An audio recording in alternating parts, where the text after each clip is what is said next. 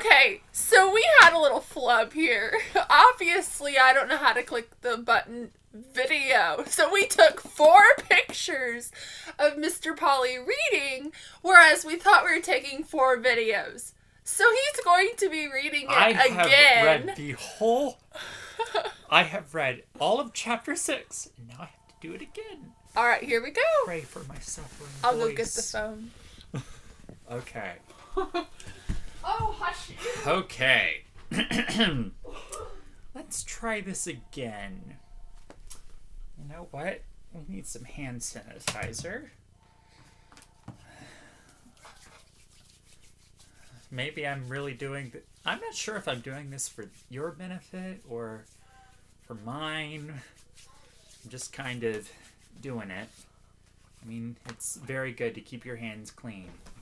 Um, and, and and this pandemic we have, but on a on a uh, on a better note, let, let, let's start the book. Chapter six, Shasta among the tombs. Shasta ran lightly along the roof on tiptoes felt hot on his bare feet. It was only a few seconds scrambling up the wall at the far end. When he got to the corner, he found um, he found himself looking down into a narrow, smelly street, and there was a rubbish heap against the outside of the wall, just as Corin had told him. Before jumping down, he took a rapid glance round him to get his bearings.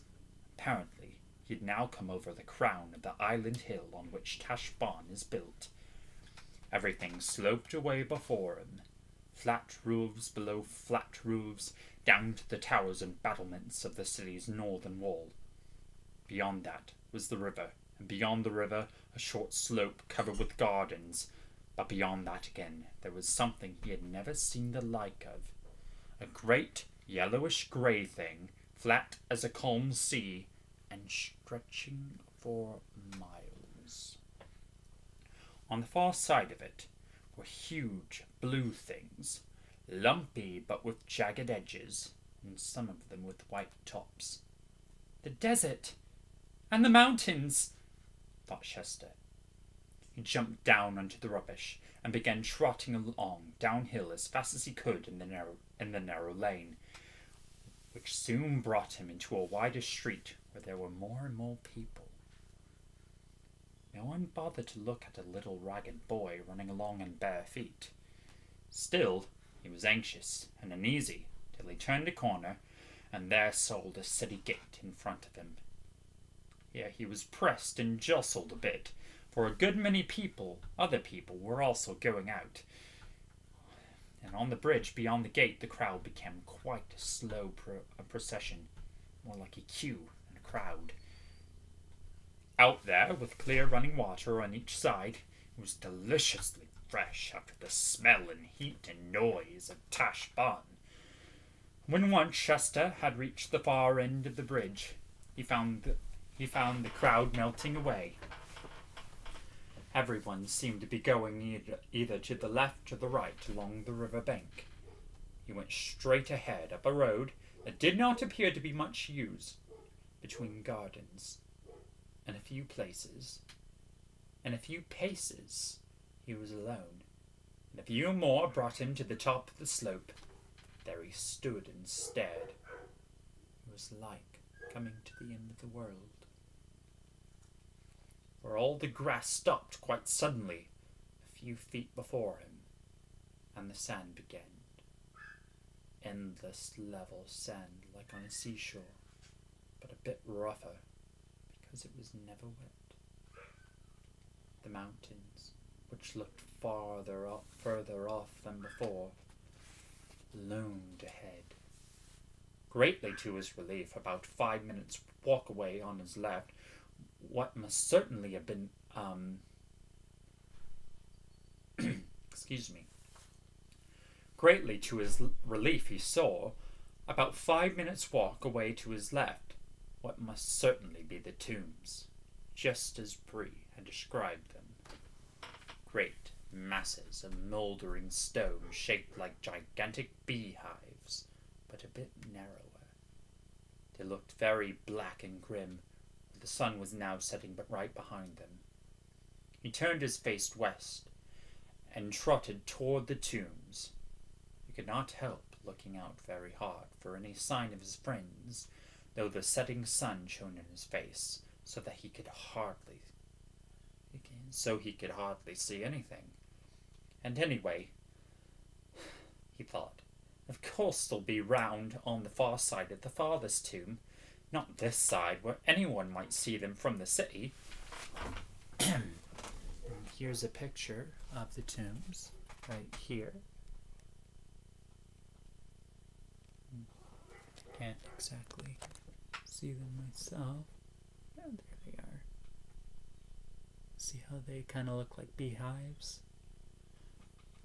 There we are. Okay. there were about twelve tombs, each with low arched doorway that opened with into absolute blackness. They were dotted about in no kind of order, so that it took a long time going around this one and going around that one before you could be sure that you had looked round every side of every tomb. This was what Shasta had to do. There was nobody there. It was very quiet there, out on the edge of the desert. Now the sun had really set. Suddenly, from somewhere behind him, there came a terrible sound. Shasta's heart gave a great jump, and he had to bite his tongue to keep himself from screaming. Next moment, he realized what it was the horns of Tashbaan blowing for the closing of the gates. Don't be a silly little coward, said Shasta to himself. Why, it's only the same noise you heard this morning. But there is a great difference between a noise heard letting you in with your friends in the morning and a noise heard alone at nightfall shutting you out. And now that the gates were shut, he knew there was no chance of the others joining him that evening. Either they're shut up in Tashbaan for the night, thought Shasta, or else they've gone on without me. It's just the sort of thing Aravis would do, but Bree wouldn't. Oh, he wouldn't, now, would he? In this idea about Aravis, Shasta was once more quite wrong. She was proud and could be hard enough, but she was true as steel and would never have deserted a companion, whether she liked them or not. Now that Shasta knew he would have to spend the night alone, it was getting darker every minute. He began to like the look of the place less and less. There was something very uncomfortable about those great silent shapes of stone. Been trying his hardest for a long time not to think of gulls but he couldn't keep it up any longer. Oh, oh, help! he shouted suddenly, for at that mo- very moment he felt something touch his leg. I don't think anyone can blame him for shouting if something comes up from behind him and touches him, not in such a place and at such a time when he is frightened already. Shasta, at any rate, was too frightened to run. Anything would be better than being chased round and round the burial place of the ancient kings with something he dared not look at him behind him. Instead, he did what was really the most sensible thing he could do. He looked round. His heart almost burst with relief. What touched him was only a cat. The light was too bad now for Shasta to see much of the cat, except that it was big and very solemn. Looked as if it might have lived for long, long years among the tombs alone. Its eyes made you think it knew secrets it would not tell. Puss, Puss, I suppose you're not a talking cat, said Shasta. The cat stared at him harder than ever. Then it started walking away, and of course Shasta followed it. It led him right through the tombs and out on the desert side of them. There it sat down, bolt upright, with its tail curled round its feet, and its face set toward the desert and toward Narnia in the north, as still as if it were watching for some enemy. Shasta lay down beside it, with his back against the cat and his face onward, um, and his face toward the tombs. But because if one is nervous, there's nothing like having your face toward the danger, having something warm and solid at your back.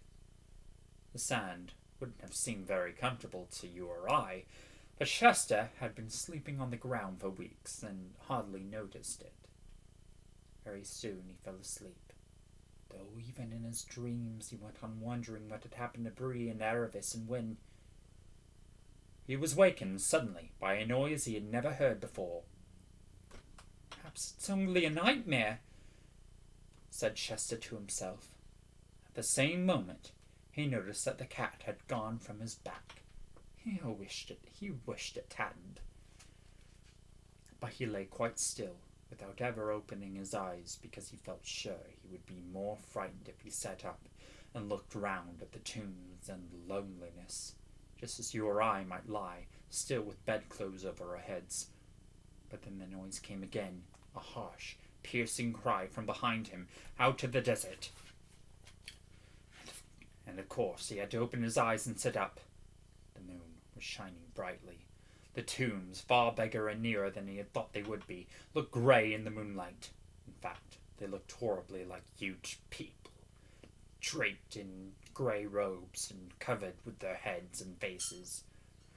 they were not at all nice things to have near you when spending a night alone in a strange place, but the noise had come from the opposite side, from the desert. Shasta had to turn around his back to the tombs. Didn't like that very much. And stare across the level sand. The wild cry rang out again. I hope it's not more lions, thought Shasta. It was, in fact, not very like the lion's roars he had heard on the day when he met Hwin and Aravis, and was really the cry of a jackal. But of course, Shasta didn't know this. Even if he had known, he would not very much have wanted to meet a jackal. The cries rang out again and again. There's more than one of them, whatever they are, thought Shasta, and they're coming nearer. I suppose that if he had been an entirely sensible boy, he would have gone through the tombs near to the river where there are houses, and wild beasts are less likely to come. But there were, but then there were, or he thought there were, the gulls. To go back through the tombs would mean going back the back, yeah. To go back through the tombs would mean going past those dark openings in the tombs, and what might come out of them. It may have been silly, but Shasta felt he'd rather risk the wild beasts. Then, as the cries came nearer and nearer, he began to change his mind. He was just going to run for it, when suddenly, between him and the desert, a huge animal bounded into view.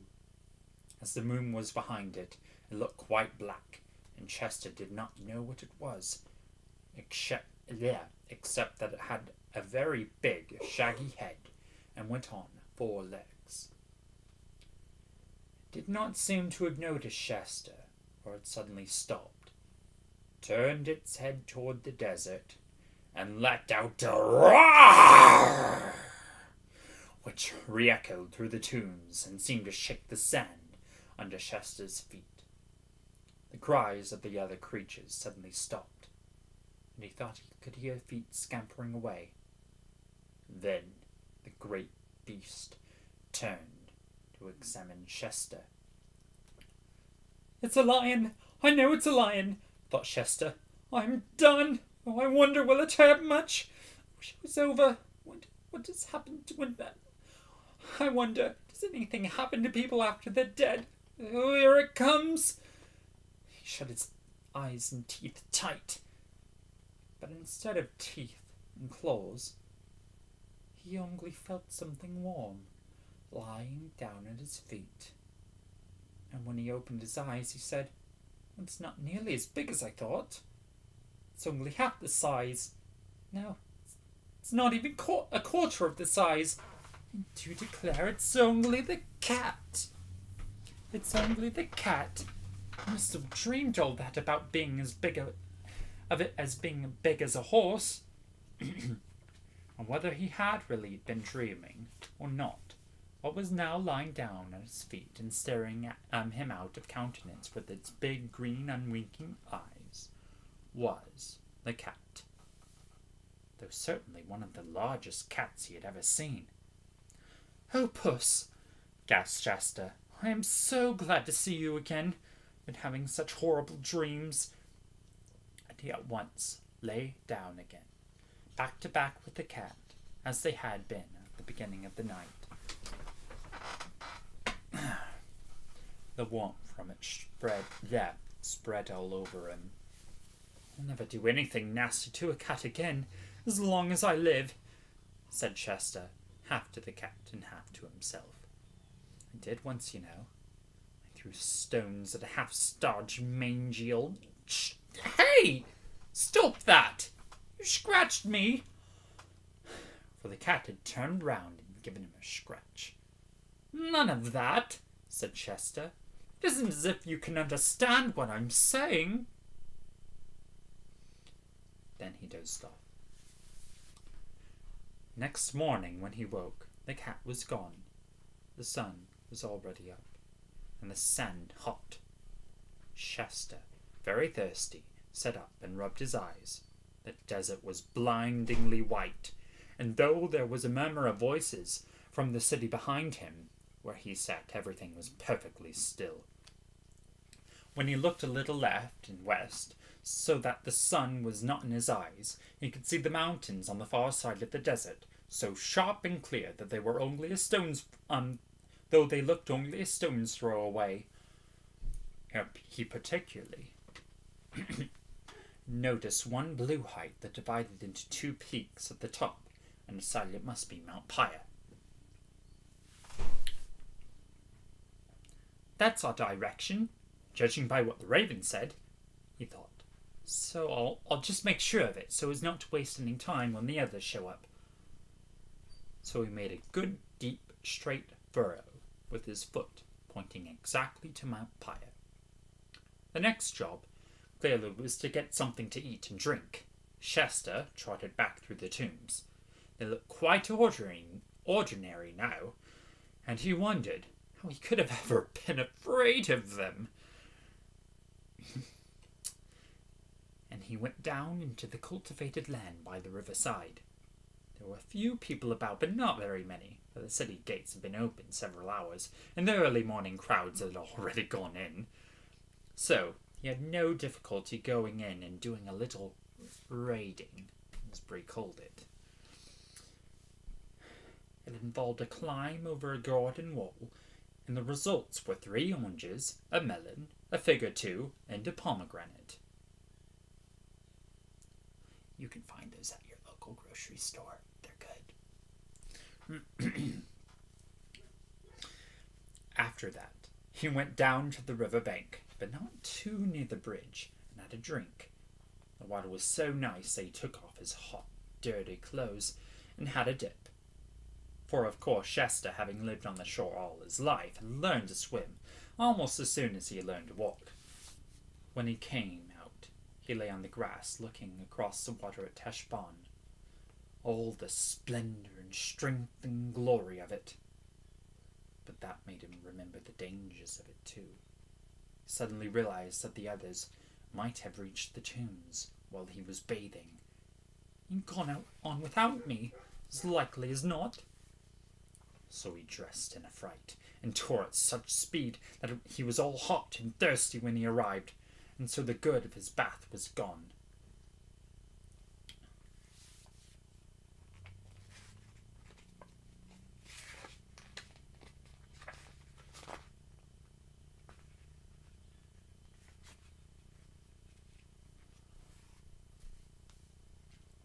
Like most days, when you are alone and waiting for something. This day seemed about a hundred hours long. You had plenty to think of, of course, but sitting alone, just thinking is pretty slow. He thought a good deal about the Narnians, especially about Corin. He wondered what had happened when they had discovered the boy who had been lying on the sofa and hearing all the secret plans wasn't really Corin at all. It was very unpleasant to think of all those nice people imagining him a traitor. But as the sun slowly, slowly climbed up to the top of the sky and then slowly, slowly began going downward to the west, and no one came, and nothing at all happened, he began to get more and more anxious. And of course, he now realized that when they arranged to meet for one another at the tombs, no one had said anything about how long. Couldn't wait here for the rest of his life. And soon it would be dark again. And he would and he would have another night just like last night. A dozen different plans went through his head, all wretched ones. At last, fixed on the worst plan of all, decided to wait till it was dark and then go back to the river and steal as many melons as he could and carry on and set out for Mount Pire alone, trusting for his direction to the line he had drawn that morning in the sand. It was a crazy idea, and if he had read any books, as you or I, about journeying over deserts, he never would have dreamed of it. Shasta had read no books at all. Before the sun set, something did happen. Shasta was sitting in the shadow of one of the tombs when he looked up and saw two horses coming toward him. And his heart gave a great leap, for he recognized them as Bree and Hwin. But the next moment, his heart went right back down to his toes. There was no sign of Aravis. The horses were being led by a strange man, an armed man, pretty handsomely dressed, like an upper slave in a great family. Bree and Hwin were no longer got up like pack horses, saddled and bridled. And what could it all mean? It's a trap, thought Shasta. Somebody has caught Aravis, and perhaps they've tortured her, and she's given the whole thing away. They want me to jump out and run up and speak to Bree, and then I'll be caught too. Yet if I don't, I may be losing my only chance to meet the others. Oh, I do wish I knew what had happened. And he skulked behind the tomb, looking out every few minutes, and wondering which was the least dangerous thing to do. And that is the end of chapter